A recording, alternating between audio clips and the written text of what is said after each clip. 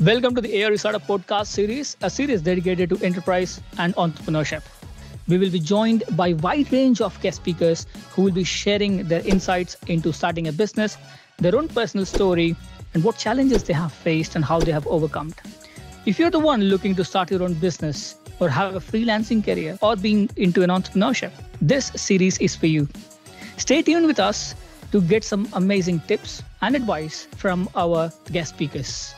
And let's welcome our guest speaker for today. A very warm welcome to the ARU Startup Podcast. My name is Omkar Singh, and today we are joined by Robert Good. Thanks for inviting me. Thank you so much for uh, joining us today. You are also an alumni of Cambridge School of Arts. So it's nice to have you back on the ARU's podcast. You have a career in IT and you have been an author, you have been a director of a company. So how how this is all going together, uh, which is which is seemingly contrast to each other. Well, that's a good question. Um, I suppose the short answer is, I mean, I, I I was interested in art, but at a relatively late age. So you know, I missed I missed out first time round. So my first career was in was in IT, as you say, and I I worked as a programmer. And um, but I always had in the back of my mind that I was interested in art, and I couldn't find a way of making it happen. And so um, it was really Anglia Ruskin. They started a Master of Fine Arts program and I saw the prospectus and I thought, wow, this this is it. This is what was made for me to kind of meld the two interests together. So I went back to school and did the masters um, as a way of of uh, uh, trying to trying to do some art how the two fit together in terms of art and technology they're, they're both about inquiry. There's both about trying to get to the bottom of things trying to understand things. And, and in technology and in, in a lot of kind of science-based activities it's through a, a process of inquiry around the sciences. With art it gives you this opportunity to pursue the same sorts of questions about life and about community and about relationships and all those things, whatever the subject is that you're particularly interested in, but through a different way. It's a more open ended approach. So I would say that the link between the two is that they're both modes of inquiry, they're just different ways of going about it. Maybe that's it. Yeah, and, and when you joined the university, you were a mature student. So, uh, did you have uh, your any sort of experience beforehand? Any ongoing work you were been involved in? Well, I'd, I'd been so I I um, was working in IT, but I've been painting pictures for a, a, long time. I decided that I wanted to teach myself uh, how to paint, and uh, so I did it in my spare time. And I never quite got there, but um, you know that that was my own approach to uh, trying to become an artist. I thought, well, if I can if I can find a way to kind of paint you know the pictures that I want to paint, then it'll all come together and I'll make this transition from the one to the other. But it didn't quite work out that way. I went to the to the um, I say to the Cambridge School of Art, and I hardly didn't pick up a paintbrush ever since. I've I've I, I threw away the paints in a way, or or rather, I replaced the paints with technology. So I was interested in words and text and language. So the, the the the continuing theme of of technology and knowledge and and, and interest in inquiry came through into my art. So I ended up doing more, um, I suppose, uh, kind of conceptual pieces that explore these ideas using text and books and and uh, and the internet itself is a resource. It's a it's a it's a starting point for inquiry. Yeah, and uh, so just going back to your student life within, within the university, how how long was the course duration? It was two years. It was a two year course. And you were involved in uh, so in, during your studies, two years. Did, did you have your passion for IT still going on? You were still working with them. So and and how the art artistic started converting into a full time profession.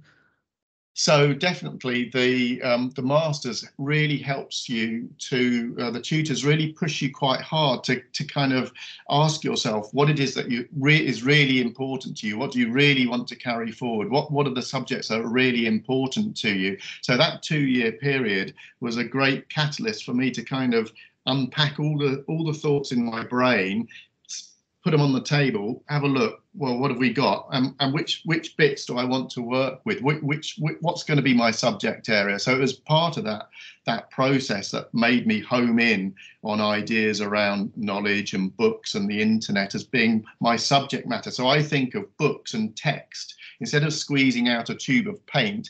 I squeeze out you know a text maybe it's a book maybe it's a novel maybe it's google news maybe it's kind of facebook chatter. Those are my tubes of paint. Those are my source material. So that was how how i how i found it. How you then make it happen the thing about art school and the thing about being a student in general whatever you think about being a student you what you do have is a structure to your day and to the program and to the and to the subjects that you've got to do. You've got to write an essay. You've got to hand in some work. As soon as you leave all of that leaves as well and you're kind of on your own as it were but so you have that transition to find your feet to find your way through the maze and there's no one answer to it everybody has to find their way in a way that works for them. So it's different for everybody, but it's a process of it's a process of getting to understand what you're trying to achieve, I suppose. Yeah, it must be hard to recall uh, your student days here at the university dating back to 2011 but just for our audience perspective um, to make them understand that how, how it's going together as an artist you're a student as mature student you come from an it background. And how is so what was your first point where you thought now the art should be the full-time profession? And did you leave it or did you continue both together I continued both together. I'd been it'd been it'd been a long process. I I I'd started working part time, and I'd started to look for um, flexible working patterns in my IT so that I could find more room for my art. So I was already working part time, and I'd. It wasn't as though I woke up one morning and said to everybody, to my family and my friends, "Hey, guess what, folks? I'm chucking it all in, and I'm going to be an artist from now on." I'd been telling people for as long as they would hear that that was what I wanted to do. So it was a process of moving towards it and finding flexible ways of working that would allow it in. So when I started uh, doing the masters, I was still working part time with my uh, IT hat on, and I continued to do that for some while afterwards as a kind of a, a bridge between the two. And I probably would still do more of it now if, if it weren't for the fact that IT moves so fast and you've got to really keep uh, your skill set up to date. So I now do some adult education, which helps to pay the bills. And um, I apply for Arts Council grants. You can get grants to help with your project work. And there are call outs for various projects where you can hope to get grants for, for, for doing your work. But it, it's not easy. It's a very much a different flavor of doing things. It's a kind of mix and match approach to trying to trying to make it happen really. Yeah, and uh, there is an interesting terminology which emerged while I was reading your bio. It's called Dr. Good. So, do you have a PhD or you're a doctor? No this was this was a this was something i developed because i i'm interested in giving talks. One of the things i like about art is is the way it can be a catalyst for a conversation. I like sharing art. I like sharing ideas. I like discussing art. I like showing people ideas. And so one of the ways that i want to what i'm in, what i'm interested in is is the contrast between art and science. Art and so people talk about stem subjects as being science technology engineering maths. And then where does art fit in. So I developed this persona called Dr. Good. Now, I'm definitely not a doctor, but I started my talks taking a subject area, discussing it from a point of view as an artist, and then I'd put on my lab coat and my goggles and my hard hat and get my clipboard and pretend to be a doctor, which, or, or rather adopt the personality or the viewpoint of a scientific approach the same subject as a way of comparing and contrasting the two. So it's playing a little bit fast and loose, but I've never claimed to be a doctor, although occasionally I do get emails saying, hello, Dr. Good, as a result. yeah, I'm sure you must have been into a lot of exhibitions where you have presented your own work. Was there any uh, any event, any occasion that you can recall where you were trying to intersect these two areas together and what you were trying to convey and how, how was it being received by the by the viewers?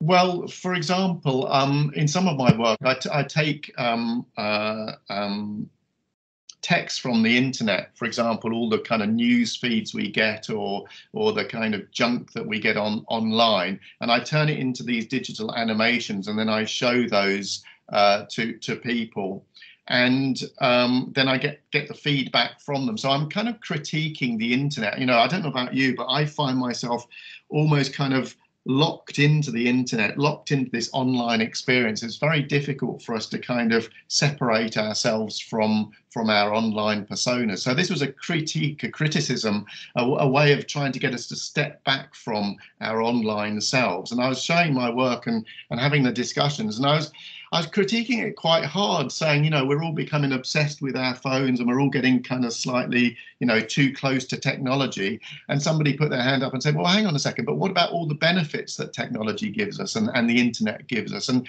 so it's it's it's easy to forget the, the flip side to, to, to everything. And, and that's why sharing your work, having a conversation can remind you about about other points of view. And that's important, isn't it? chat gpt and ai and all of those things are kind of next level whatever you know there's a lot of chatter around them but there's no doubt about it i mean i've used chat gpt already to do some of my python programming for me you know some of the stuff that i'd be hacking around for about a week to do I just ask it and, it and it gives me some some lovely code straight off. It may not be perfect, but it saved me so much time. I mean, I've asked ChatGPT, you know, what should I do for an exhibition? You know, give me some ideas for an exhibition. I mean, that's the new reality of where we are. And so, from my point of view, being interested in art and technology and having a background in technology, it's absolutely part of what I want to investigate. So, going back to your questions about, well, how does art and technology relate together? My art is a way of questioning, you know, what what what what what does ChatGPT mean for us? Where does that leave us? Where do we, you know, where does truth leave us now that we've got all this contingency? So it's just another another thing for me to investigate. Yeah, and interestingly, you have uh, interest in in the internet side of things and the art technology. So, do you think the artificial intelligence is going to have an impact on these two areas? And have you got any future coming up planning into having AI included in your areas as well? I think AI is is is is going to be fascinating. You know, everybody's concerned not just in in the arts and the creative industries. You know, all the strikes in Hollywood and and uh, so on. But but in in in general, I think people just don't know how it's going to play out. But uh, potentially, it it is going to change the landscape, and and probably the the short answer is in ways that we don't don't yet know but definitely it's something that I'm looking to include. I've got an ongoing project that I'm hoping to have quite a big show next year about called a cybernetic meadow and it's going to be an uh, um, an installation where people can walk around and through all of these different artworks and they're all going to be different little critiques of of our internet lives and so definitely one of them I would like to have an AI uh, piece of work there. I've, I've written a truth bot, which is my own little uh, piece in Python, and it wanders through Wikipedia and it brings back all these little facts for you, and it just this endless scroll of facts to uh, to consider. So definitely. Yeah, and this takes to my next question is about your very other interesting book. It's called A New Dictionary of Art, is it?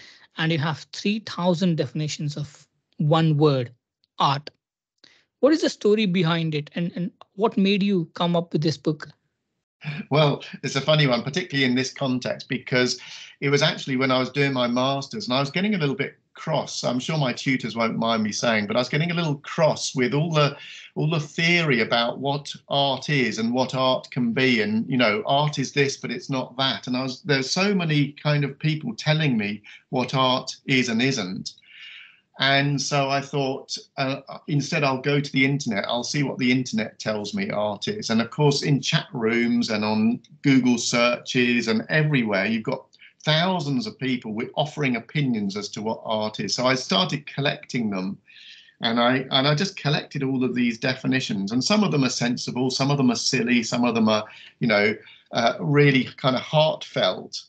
And I didn't know what to do with them until one day I suddenly realised this is this is a new dictionary. This is a a new a new way of thinking about the definition of art. You know, it's silly to, to, try. People are very passionate about art. You know, they say, "Oh, that's definitely not art. That's there's no way that is art." But I like that one. That's art. So people are very territorial about what they think art can and cannot be. But actually, it's everything. It's all of it's all of these things. So my book has all of these lists of different people with different opinions, and they're all fighting it out on the page. And actually, that provides a more closer definition, a closer sense of what art is. Art is a conversation, and all these definitions are conversations between people saying it's this and it's that and it's the other, rather than one people saying art is, you know, a particular way of doing X, Y, and Z. It's not a philosophical uh, philosophical definition. It's a conversation.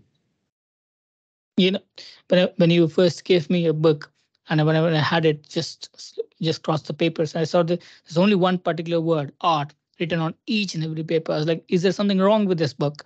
Yeah, it is very interesting. But you have got, I've never seen this before. That, uh, that kind of a, a, a, a thought to have art as one definition written in 3,000 different ways. And my first thought was, this is a printing mistake. but then when I gone back to the title, you said three different ways of definition of defining an art. Yes, which an interesting thing. And also your your your work, you have uh, showcased uh, your your work in some respected institutions uh, such as Tate Modern, I think. Uh, what strategies did you apply in getting your your, your artistic work stocked there?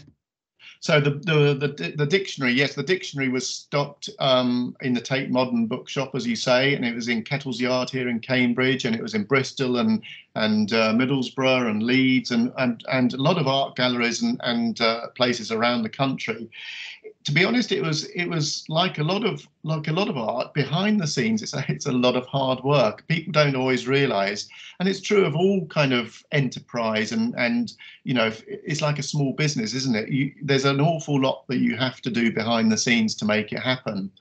And so um, I, I, produced the book with um, a publisher called Jane Glennie, who who did the publishing and the design. Um, and um, then we went about trying to get it stocked, as I say, in these bookshops. And you have to, you have, there's a lot of kind of uh, emails, conversations, um, you know, visits turning up, and then finally they say, yeah, okay, we'll we'll stock it, and they say, okay, well, we'll have we'll have five copies on sale or return, and you think, wow, you know, that's that's that's not that many, you know, it, it, you've got a you've you've got quite a lot of work to do, and then you have to kind of keep the stock turning over.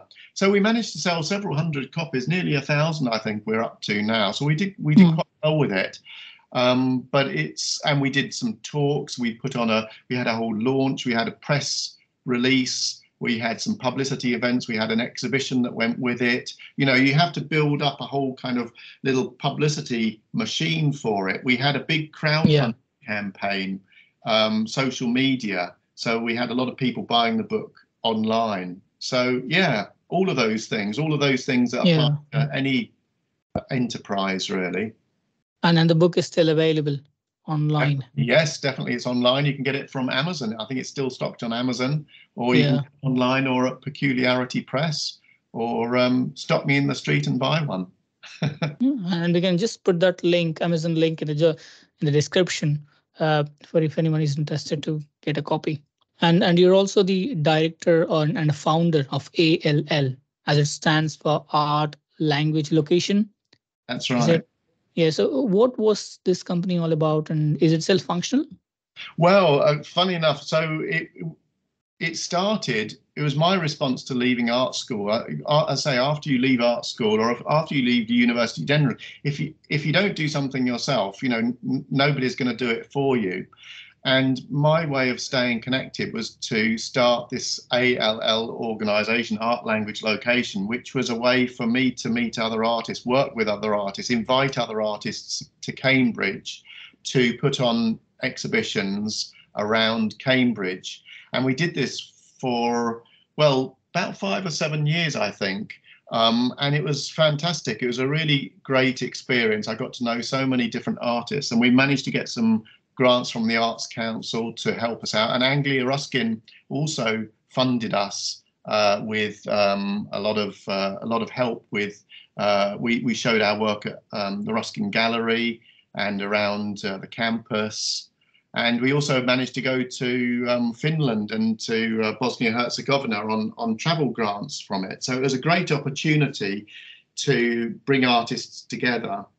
And actually, this year is the 10th anniversary of, of, of it doing. So we stopped doing it partly because it was becoming so big and it took so much time and energy that we would have to turn into kind of full time arts um, coordinators rather than artists. So we kind of put it on the back burner. But this year is the 10th anniversary, and we're going to do something in Cambridge in October to celebrate 10 years of the project. So that'll be a great opportunity for artists to come together and and to show some work in Cambridge. Yeah, that will be nice. Just also let us know if there is any opportunity available for the students here at ARU. We can just put that link in in the description of this video. Uh, that will be nice for them to join as well. Definitely, yes. Yeah, that'd be nice. Great. Yeah. Yeah. Yeah. And asking uh, from, a, from a student's perspective, those students who are aspiring to be a future artist or a full time into an artistic work, uh, what are the strategies you used to have a platforms in prestigious institutions showcase your work? There's there's no magic wand, I'm afraid. And and and so one thing is I would say is that there are different many different flavors of being an artist. So first of all, you need to kind of know what you want to do. So even to say, you know, showing your work in a prestigious gallery, funnily enough, not everybody wants to do that. So there are lots of different ways to be an artist. But if you do, then the the ways to do it, I mean, you do you do have to kind of keep your eyes and ears open. I think the most important thing I would say is is rather than worrying too much about that, is to enjoy the journey and to become more confident about what it is that you're doing. If you're if you know what you're trying to do, that comes across and that will open new doors. It rather than trying to push at a door that feels closed you know something like you know one of these galleries can feel a very intimidating place and they get a lot of inquiries. So you're going to get a lot of pushback. So you need a little bit of a thick skin. But also not to worry too much about that but to make sure that you you work as hard as you can as well as you can on the work that you're doing. And then the opportunities they may or may not come, but they they generally will because you're going to be focused on a particular area. And by doing that and sharing your work online and attending symposiums and going to exhibitions and talking to people, you will naturally find your own ecosystem, as it were, your own fellow travelers who are also interested in the same sort of area. And then once you've got that little group of people who are likewise interested, well then you can work together to put something on as a group show maybe or you've got some experience that then you you know you'll become to the notice of the people who are interested in what you're doing. And you'll start to be you'll start to move from having to hustle really hard and say can i do something here or can i do something there? to people saying would you like to show with us? People will start to take note and will start to invite you and that's a really nice place to be then because you start to get opportunities from other people Yes, sir. And, and you mentioned about uh, ecosystem. Uh, so just, just on that area, because arts arts field is more of an undefined path, and it, it is different for each person how, how it works. Any sort of support resources that you want to highlight to the current students who are aspiring? I think, hmm, I think, let me just have a think about that. Um, I think what I would say is is the most the most the most important is is to once when well whilst you're still at university but once you leave as well is to make contact with with with art institutes art organizations studio spaces places that are are supporting artists in different ways. Do your homework do your research um, go online find find these places and just just approach them and and start a conversation with them and and find your community. Uh, there's no there's no there are there are all sorts of um, resources online um, that are really interesting to follow and and ways that you can stay connected online but that will take you so far. I think the kind of the personal touch you know the being involved uh, is is the extra thing. And and apply for things. Yeah thank you. And how important you think the entrepreneurial mindset is for students in arts? I think really important. And I think this is almost invisible. I think a lot of people, they look at an exhibition, they might go along to an exhibition and and and the classic thing is, well, well, I could have done that, you know, and, and or it's very easy, or you know, well, that's not difficult. I think most people have got no idea how much hard work there is behind the scenes. And a lot of it is very a skill set that actually can be very transferable. Um, project management skills, you know, you it's all very well to be a kind of uh, you know an artist and just like, but if you've got an exhibition, that's a deadline you've got to work to. You've got a lot of people that you've got to you know coordinate. You've got finances to think about. You've got publicity to organize. You've then got to be on on top of that, you've got to be creative yourself and come up with an idea that you want to show. So you need good time management skills. Uh, you need people management skills, and you need to kind of hustle a little bit because it's not it's not always easy. Um, but it's fun. It's a privileged thing to do. It's a different it's a different thing. Uh, you know, I've I've seen both sides because I've worked in a nine to five for a long time. I've worked in an office. I know what it's like to to, to turn up at nine on Monday morning and, and, and stay there till till five thirty. So so I've done both sides of it. So it's a very privileged thing, but it's a very flexible. It's very open ended. It's quite scary. I'm not sure I could have done it when I was, you know, first time round because it's not easy, but but it has its own rewards and it's a fantastic thing to be able to do. Yeah, thank you, thank you for sharing uh, all such amazing tips to our to our audience, to our students, to aspiring artists. As we're now coming to conclusion, you have any final thoughts? No, um, only that um, do it. I would say I was. It's something. It's something that you need to be passionate about.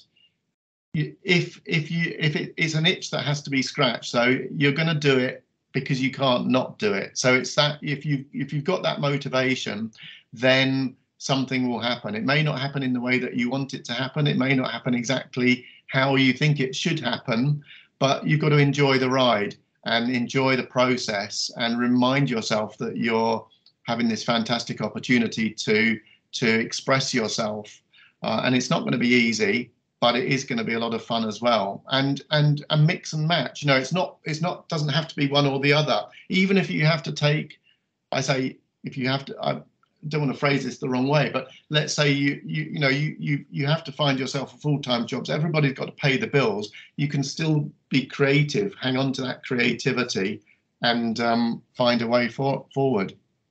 And I'd be very happy to talk to anybody if they if they would like some advice or help. I I, I think it's important you know to be available to try you know if I can. I'm not saying that I've got any answers, but um, you know I'm always I'm always happy to talk to people about. Um, uh, ideas and, and, and things. Thank you so much. Thank you so much, Dr. Good, for joining us today. it was interesting. and ladies and gentlemen, thank you so much for staying in tune with us. This is Omkar Singh signing off.